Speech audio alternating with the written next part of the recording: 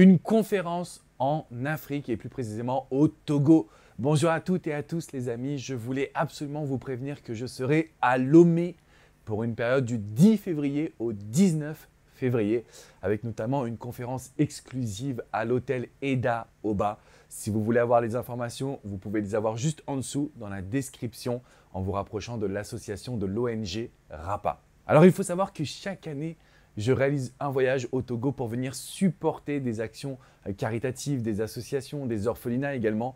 Et tout ça, c'est grâce au soutien de la communauté, euh, de toute cette fameuse communauté qu'on a créée ensemble sur YouTube. Donc déjà, un énorme merci à vous si vous me regardez. Et si vous êtes au Togo, rendez-vous à l'hôtel Eda Oba pour qu'on vive un moment extraordinaire.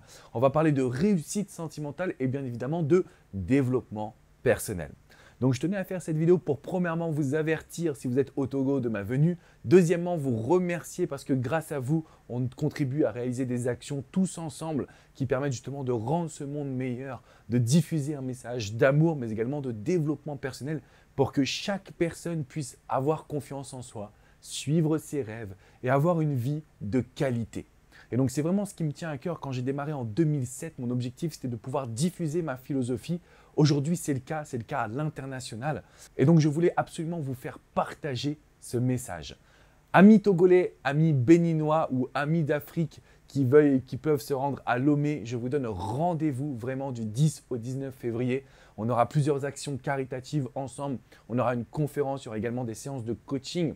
Et tous les bénéfices, je dirais même tous les revenus vont être reversés à l'ONG RAPA. Donc nous prenons bien évidemment en charge les frais pour pouvoir apporter un maximum de soutien sur place. Donc quand vous supportez ces actions, vous supportez l'ONG RAPA, vous supportez deux orphelinats également, dans l'orphelinat SPES, et vous allez pouvoir tout simplement contribuer à rendre la vie meilleure à certaines personnes. Donc s'il vous plaît, si vous avez envie de donner. N'hésitez pas à faire un don juste en dessous. Ce sera une campagne spécifique à ce voyage au Togo et 100% de vos dons seront reversés à ces associations qui, sur place, un travail extraordinaire.